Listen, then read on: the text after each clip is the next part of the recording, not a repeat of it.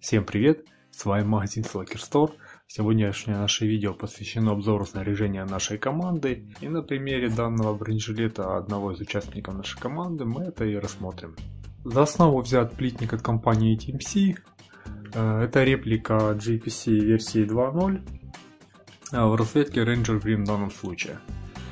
В нашей команде нет особых привязок к расцветкам, э, допустимы мультикам, койот, Ranger Green ну и другие какие-то вменяемый рассвет. Данный плитник сразу же после покупки подвергся некоторым апгрейдам, уже принятым в нашей команде еще на версии первых бронежилетов. Самый распространенный из них это добавление эластичных камербандов на бока, бандольеры для переноски, гранат, вогов, установка маленьких рюкзаков по типу минимапа, в данном случае TMC для возможности доступа самостоятельно. Ну и всякие остальные уже индивидуальные идут. Начнем наш обзор с модификации передней платформы. Сразу же были установлены карабины. Здесь предусмотрены крепления, петли. Эти карабины необходимы для установки флэп-системы. В данном случае это Spiritus. А также реплика от TMC. В ней размещается три магазина и остальные полезные. Такие как loader, мультитул, шары, маркер, блокнот.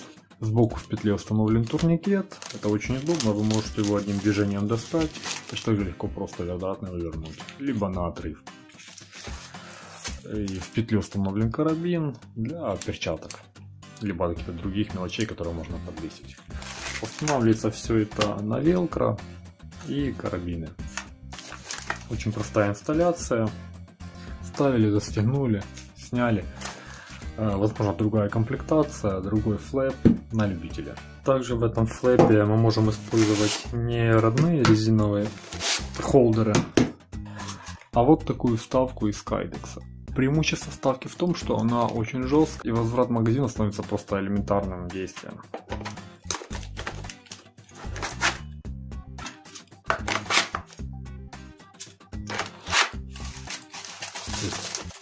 Магазины не выпадают, магазины жестко зафиксированы, он также довольно-таки легко вытаскивает.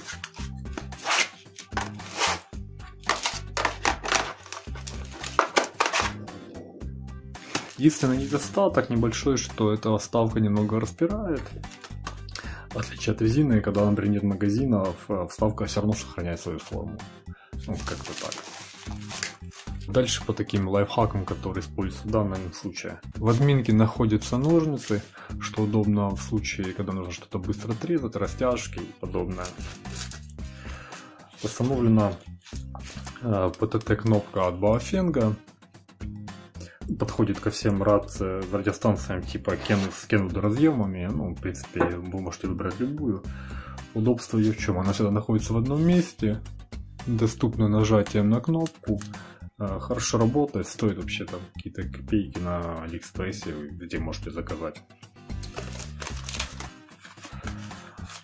Эта кнопка сразу идет с гарнитурой, то есть все это в одном комплексе и протянуто через э, наплечник. На левом плече нашита полоса велка, э, на которой закреплен вилайт. А, здесь красный свет, вы можете использовать инфракрасный, если много работаете с ПНВ, но инфракрасный данного бойца размещен на шлеме. Поэтому здесь стоит красный, очень удобно, он всегда с вами. А, на любой дневной, ночной игре не нужно где-то доставать из кармана, просто вас убили, в темноте нажали кнопку два раза, свет замигал, все, пошли. Как на передней, так и на задней пластине нашиты внутри велкро мягкая для установки климат-кап, так называемых климат-амортизационных панелей. Переходим к спинной панели. Как я уже говорил, здесь установлен мап. Основное его преимущество в том, что можно получить доступ к содержимому самостоятельно, вот по бокам. Это есть и преимущества, есть недостаток, можно сложно там рассуждать, но э, кое-что в этой схеме здесь не устраивает, но пока лучших вариантов нет, э, будем делать самостоятельно что-то, пока так. А про то, как там сделан мап, будем разговаривать позже, он подвергся также сильным модификациям, в принципе приведен к оригиналу, Ну, в общем, это тема до следующего видео. А сейчас поговорим про элемент бандольера. Предназначена она для переноски четырех гранат, либо четырех логов, растяжек и тому подобного. А, с одной стороны. У нее есть велка, система, которая крепится либо по слэп, либо сразу на камербанд. А вторая ответная часть, она на, на шок-корде крепится к моей системе на спине бронежилета. Как я говорил уже, в нее влазят просто либо обычные гранаты, картонные, самые дешевые. А сюда также влазят гранит басмачевский. Влазят также воги. Все это не выпадает от тряски, никаких проблем. Для придания большего трения внутри нашита велка. Если боец использует подствольный гранатомет, он в левую бандольеру забивает вогами, правую бандольеру забирает, забивает гранатами. Удобно. Сама бандольера, в принципе, съемная, ее можно даже установить э, на штаны, на рюкзак, куда угодно, где есть велкро и где можно ее пристегнуть. Дальше на плитник установлены эластичные камербанды, они очень простые, уже много известных моделей, когда это по сути две резинки, которые сшиты вместе, и между них есть э, отделение для установки радиостанции и магазинов.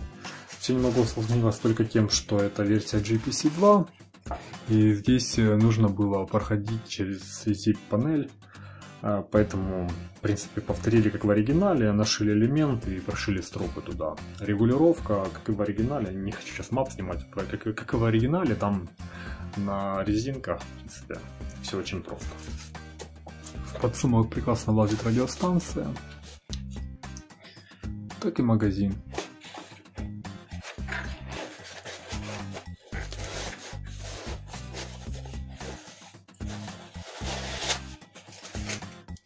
Итого вы можете увеличить свой боекомплект четырьмя магазинами или там две радиостанции, два магазина. Если вы более широкой комплекции, то вы можете сделать себе три отсека.